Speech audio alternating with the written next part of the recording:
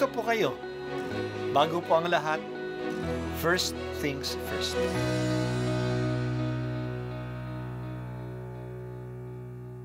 Good morning po. Sinisimulan po natin ngayon ang first things first. At dito po, tinatalakay natin sa unang bahagi ng umaga natin ay ang first readings na binabasa po sa banal na misa.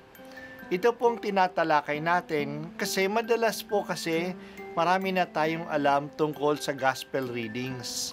Pero konti po ang nagsasalita sa first readings. Pero ang first readings, bahagi din po yan ng Biblia, ng banal na kasulatan. Kaya susubaybayan po natin ang mga first readings, basahin po natin at kuminsan kailangan ng basahin ng dalawa o tatlong beses bago maintindihan kasi hindi po tayo sa familiar sa mga istorya at sa mga kaisipan na tinatalakay dito.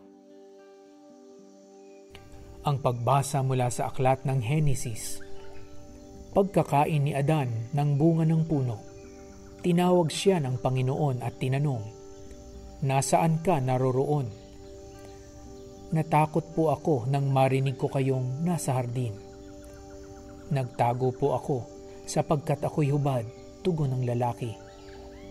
Sinong may sabi sa iyong hubad ka? Tanong ng Diyos. Bakit? Kumain ka ba ng bungang ipinagbabawal ko? kasi pinakain po ako ng babaeng ibinigay ninyo sa akin, tugon ng lalaki. Bakit mo naman ginawa iyon? Tanong ng Diyos sa babae.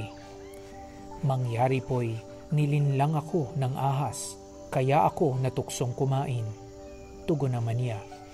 At sinabi ng Panginoon sa ahas, Sa iyong ginaway may parusang dapat, na tanging ikaw lang yaong magdaranas ikaw ay gagapang, ang hatol kong gawad, at alikabok ang pagkaing dapat. Kayo ng babae, laging mag-aaway, binhimot binhinyay, laging maglalaban. Ito ang dudurog ng ulo mong iyan, at ang sakong niyay ikaw ang tutuklaw. Eva ang itinawag ni Adan sa kanyang asawa, sapagkat ito ang ina ng sangkatauhan. Ang salita ng Diyos. Salamat sa Diyos. Ngayon po ang dakilang kapistahan ng Immaculada Concepcion. Happy Feast Day po sa ating lahat. Si Maria na Immaculada Concepcion ay ang patron ng buong Pilipinas. Kaya piyesta natin ngayon sa buong bansa. Kaya nga walang pasok sa araw na ito. Ang ibig sabihin ng kapistahang ito na si Maria na magiging ina ng Diyos ay pinaglihi na walang kasalanan. Hindi nadagtaan ng kasalanan ang kanyang kaluluwa at ang kanyang katawan kahit ng ilang saglit lang. Yan po ay ang kanyang dakilang privilege. Yan ay hindi bunga ng kanyang kabaitan, ngunit talagang grasya, pure grace ang katangi-tanging grasyang ito ay dahil sa kanyang magiging papel sa kasaysayan ng kaligtasan. Sa kanyang laman, kukuha ang dakilang Diyos ng kanyang laman. Kaya nararapat man lamang na hindi nabahira ng kasamaan ang laman na panggagalingan ng anak ng Diyos na naging tao. Ang ibig sabihin nito na may plano ang Diyos hindi naman basta-bastang kumikilos ang Diyos. Matagal pa ang pangyayari, may plano na ang Diyos.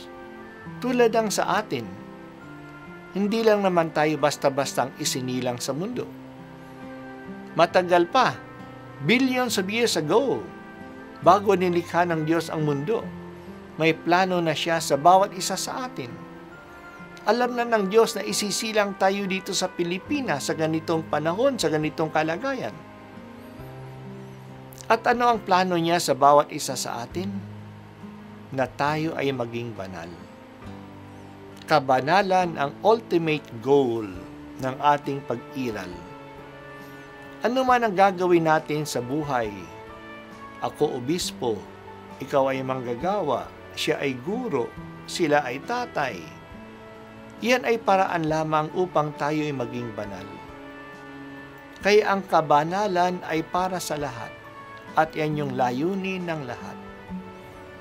Pinili tayo ayon sa layunin ng Diyos para sa bawat isa sa atin so that we might exist for the praise of His glory. Ganyan ang balak niya kay Mama Mary. Ganyan din ang balak niya sa bawat isa sa atin.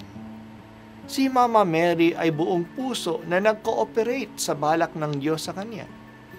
Talagang pinanindigan niya ng buong buhay niya ang kanyang sinabi sa anghel, Mangyari nawa sa akin ayon sa iyong salita. Dito naging dakila si Mama Mary. Hindi na sayang ang plano ng Diyos sa kanya.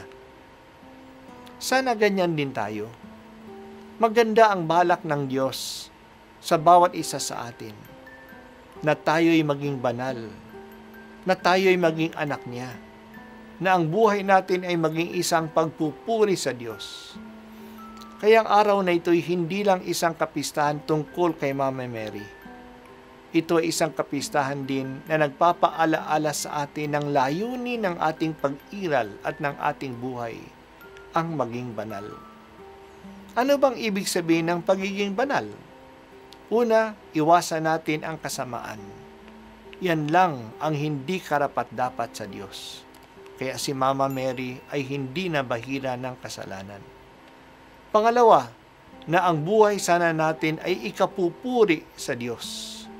Ibig sabihin, natutuwa sana ang Diyos sa buhay natin. Natutuwa nga ba ang Diyos sa takbo ng buhay natin ngayon? Matutuwa siya kung ginagawa natin ang gusto niya. Hanapin natin ang kalooban niya. Panindigan din natin ang silita ni Mama Mary mangyari nawa sa akin ayon sa salita ng Diyos. Ito po ang unang pagbasa at ako po ay si Bishop Broderick Pabilio dito sa First Things First.